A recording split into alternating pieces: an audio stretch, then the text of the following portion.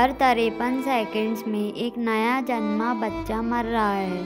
भारत में हर दिन सड़सठ हज़ार तीन सौ पचासी बच्चे जन्मते ही मर जाते हैं, क्योंकि माँ, कई माओं को हॉस्पिटल्स या कोई मेडिकल फैसिलिटीज़ नहीं मिल पाती, और जिससे उनके कोख में पल रहे बच्चे पैदा होने से पहले ही जान गंवा देते हैं। सन 2017 की स्टडी के अनुसार दो लाख में से डेढ़ लाख बच्चों में से पचास लड़कियों को कोख में ही मार दिया गया है।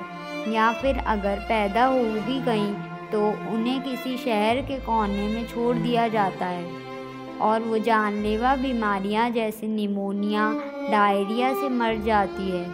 भारत में करीब 25 मिलियन बच्चे हर साल पैदा होते हैं और उनमें से 55 प्रतिशत बच्चे अपनी जान गंवा देते हैं।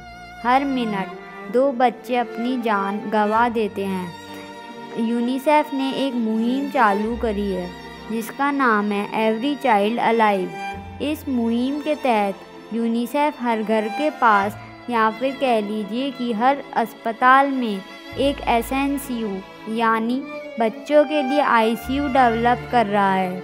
और इन एस एन सी यू की वजह से नियोनेटल डेथ में भारी मात्रा में गिरावट आई है और इस मुहिम के लिए यूनिसेफ के इस प्रोजेक्ट में आप भी भागीदार बन सकते हैं।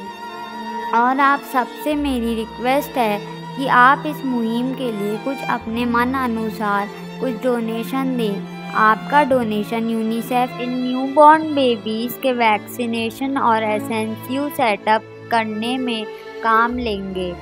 डोनेशन के लिए आपको एक लिंक इस वीडियो के डिस्क्रिप्शन में मिलेगा। और कृपया आपकी इच्छा अनुसार आप इन्हें डोनेशन दें। धन्यवाद।